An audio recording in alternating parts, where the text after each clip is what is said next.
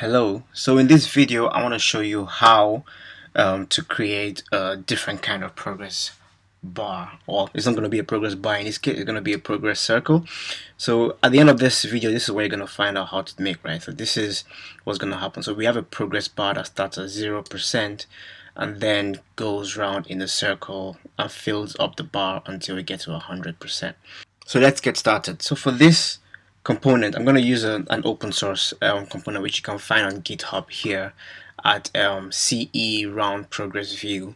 So that's the link in there. So basically what CE round progress view gives you is a it actually uses core animation to animate a circle round a pie chart. So that's basically what we have in there. So if you download that, so um, this is also another option which you can have. This probably looks very similar to what you have in a in the iTunes app where you can actually play a sample of of any any music. All right so we're going to download that. I'm going to use that in our project. So i already have everything set up in here. It comes with four files. These are the four files in here. Ce round progress layer and the ce round progress view. So basically I'm going to use an ADV round progress view which encapsulates that and then pulls in our progress progress layers and the, sorry which which pulls in our um, CE round progress view. Okay?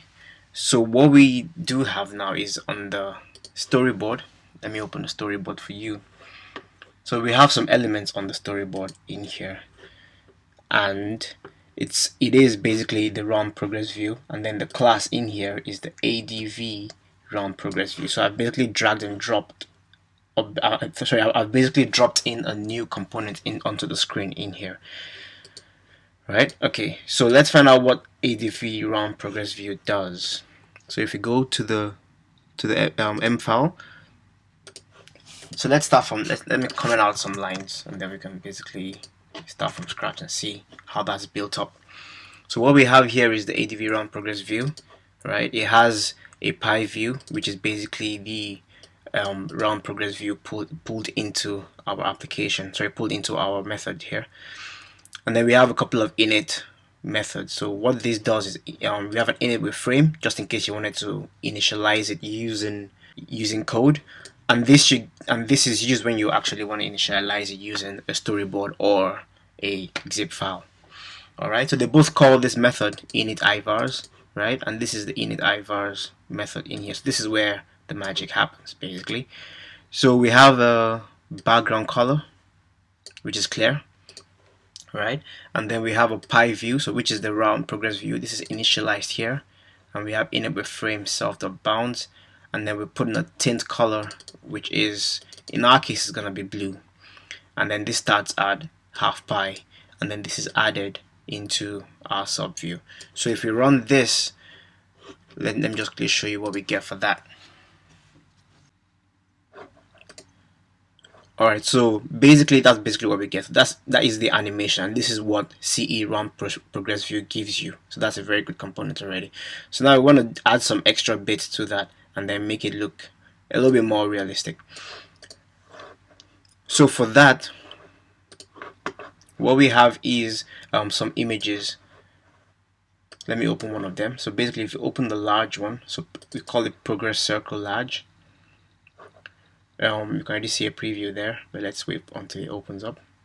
Okay so what progress circle gives us is basically two circles two two concentric circles. This one has a, a kind of a drop shadow in there and then this circle is kind of a stroke around the inner circle and then this the space in between this two circles is transparent.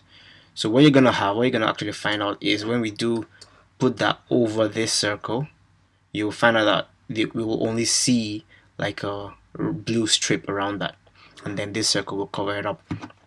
So it's actually kind of as easy as that.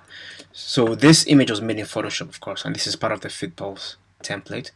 And uh, you can also get this um, as part of a download um, down below this video. So you should see a download link below this video which, which gives you like a sample a sample of this.